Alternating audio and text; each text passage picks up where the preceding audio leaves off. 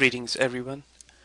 This video is being prepared for the students at uh, Ryerson University so that they can um, um, learn about doing data analysis in um, SPSS and uh, this video will be um, will serve only as a placeholder for the real video that is hosted at a different server primarily because YouTube does not allow us to post uh, uh videos of longer durations uh, longer than 10 minutes.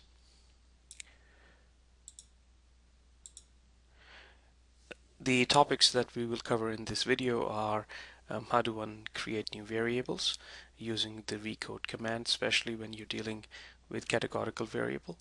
And then there's this option of creating uh, tables or generating tables from multiple responses.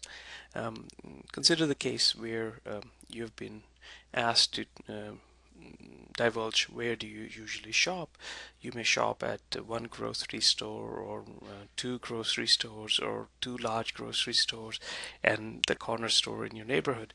So uh, the responses are then categorized or recorded into multiple variables.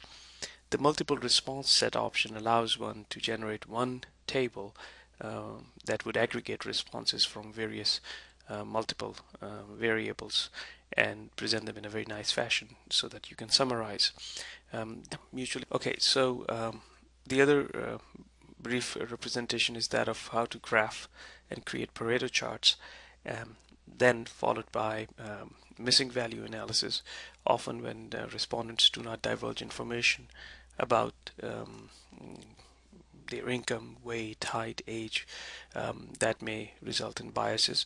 So missing value analysis is a key portion of doing statistical analysis. Um, followed, we follow this with an outlier analysis to see which variables or which observations are too far off um, and may not be representative of the same sample. And then the last thing we discuss is how do you weight variables to um, make inferences about the entire population, provided you have the, the weighting information in your sample. As I mentioned earlier, the reason uh, this video would only serve as a placeholder is because uh, YouTube only allows one to post, post videos of 10 minutes or less duration.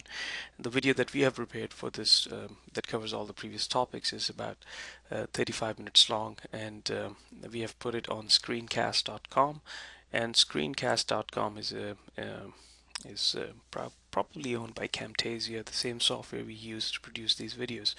And um, if you were to visit screencast.com or enter this URL in your um, in your browser, that is screencast.com forward slash t forward slash 4kqbpk gfm. Note that um, t is lowercase and then 4 K and Q are uppercase, BPK are lowercase, and GFM are again uppercase. So enter this in your uh, URL, uh, sorry, the this URL in your browser, and uh, um, you would have the uh, access to the video. And just click on play, and it will start playing.